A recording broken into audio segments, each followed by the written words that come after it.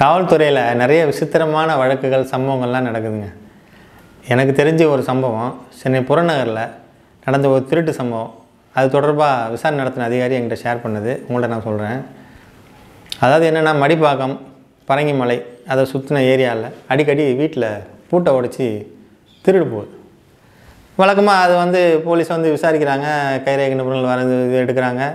எடுத்து விசாரிக்கும் போது இப்போ பெண்டிங் இருக்குது அப்புறம் அதை விசாரிச்சுட்டு இருக்கும்போதே இன்னொரு கொள்ளை நடக்குது. இப்படி அடுத்து அடுத்து அடுத்து அடுத்து ஒரு ஒரே மாதத்தில் ஒரு பத்து இருபது அஃபென்ஸு நடந்தவொடனே போலீஸுக்கு அவங்களோட கவனம் ஃபுல்லாக அங்கேயே போயிடுச்சு. உயர் அதிகாரிகள் கேட்குறாங்க என்னங்க அங்கே ஒரே இவ்வளோ அஃபென்ஸ் நடந்துகிட்ருக்கு நீங்கள் என்ன பண்ணிட்டுருக்கீங்கன்ட்டு சரின்னு சொல்லிட்டு இவங்க துரிதமாக விசாரணை நடத்துகிறாங்க அதில் உள்ள கைரேகையெல்லாம் எடுத்து மேட்ச் பண்ணுறாங்க லோக்கல் அக்யூஸ்டு அவங்களுக்கு தெரிஞ்ச வீடு பூட்டை உடைக்கிற ரெகுலராக ஒருத்தன் பண்ணுவான். அவனை கூப்பிட்டு கேட்குறாங்க அவனை ஐயா நான் ஒன்றும் பண்ணலைங்கய்யா. நான் இப்போ அந்த மாதிரி சம்பவம் பண்ணுறதே இல்லை. இருந்தாலும் அவனை அரெஸ்ட் பண்ணி உள்ளத்துக்கு போட்டவொடனே அடுத்து மறுபடியும் ஒன்று நடக்குது. அப்போ அவன் குற்றவாளி இல்லைன்னு தெரிய வருது. இதுக்கடையில் வந்து என்ன பண்ணுறாங்க போலீஸ் ரொம்ப ஒரு ஸ்பெஷல் டீம்லாம் ஃபார்ம் பண்ணி கைரேகை எடுத்து அதை பக்காவாக இது என்ன சொல்லிட்டு ஸ்டார்ட் பண்ணுறாங்க என்கொயரி அப்போது ஒரு ஃபிங்கர் பிரிண்ட் எக்ஸ்பர்ட் ஒரு ஆளை கூட்டு வராங்க. ஆனால் யார் கூடயுமே அந்த இது மேட்ச் ஆகலை. லோக்கல் அக்யூஸ்டு கைரேகை எடுத்து பார்க்குறாங்க. அதுவும் மேட்ச் ஆகலை. அப்புறம் வெளி டிஸ்ட்ரிக்ட் அக்யூஸ்டு ஃபிங்கர் பிரிண்ட்லாம் எடுத்து அது கூட மேட்ச் பண்ணாங்க. அதுலேயும் மேட்ச் ஆகலை. அப்புறம் ஸ்டேட் விட்டு ஸ்டேட் வட மாநில கொள்ளையர்கள் அவங்க தான் வந்து கைவரிசை காட்டுவாங்க வழக்கமாக அது கூடயும் மேட்ச் பண்ணுறாங்க எது கூடயுமே மேட்ச் ஆகலை. அதுக்கப்புறம் வந்து இவங்களுக்கு ரொம்ப தலையை பிச்சுக்கிட்டு ஒரு ஃபிங்கர் பிரிண்ட் எக்ஸ்பர்ட் ஒரு ஆளை கூட்டு வராங்க. அவரை கூட்டு வந்து அவர் என்ன பண்ணுறாரு அந்த கைரேகைலாம் பார்க்குறாரு இருபது சம்பவத்துலேயும் ஒரே கைரேகை. ஸோ பார்க்குறாரு பார்த்தோன்னே அந்த ஃபிங்கர் பிரிண்ட்டை ஃபுல்லாக அவர் ஆய்வு பண்ணிவிட்டு பார்த்து சிரிக்கிறாரு. போலீஸ் ஆஃபீஸரை பார்த்து என்ன சார் சிரிக்கிறீங்கன்னு?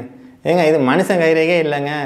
இது வந்து ஒரு குரங்கோட கைரேகை என்னோடனே அதிர்ச்சி ஆகிடுச்சு என்ன சார் சொல்கிறீங்க குரங்கோட கைரேகையா?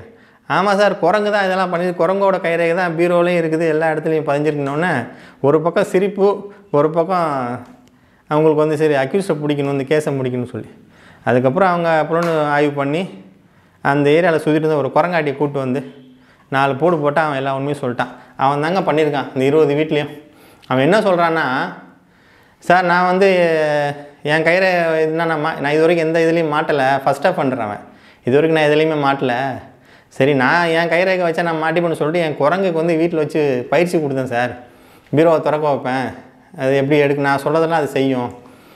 அப்படின்னு சொல்லிட்டு சொல்லியிருக்கான். ஏண்டா குரங்குக்கு நீ பயிற்சி கொடுத்துருக்கியாடா திருடுறதுக்குன்னு? அவன் சொன்னது கேட்டு போலீஸார் ஒரு பக்கம் விழுந்து வந்து சிரிக்கிறாங்க.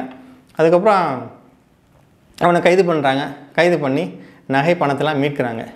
இதுதான் வந்து சுவாரஸ்யமான சம்பவம். இதே இதே போல் நிறைய சுவாரஸ்யமான சம்பவங்கள் காவல்துறையில் நடந்திருக்கு. அடுத்த இதில் நான் உங்கள்கிட்ட அதை சொல்கிறேன் இது போன்ற காவல்துறை செய்திகளை நீங்கள் தெரிஞ்சுக்கணுன்னா அடிக்கடி ஃபோர்த் ஐ சேனலை பாருங்கள் ஷேர் பண்ணுங்கள் சப்ஸ்கிரைப் பண்ணுங்கள்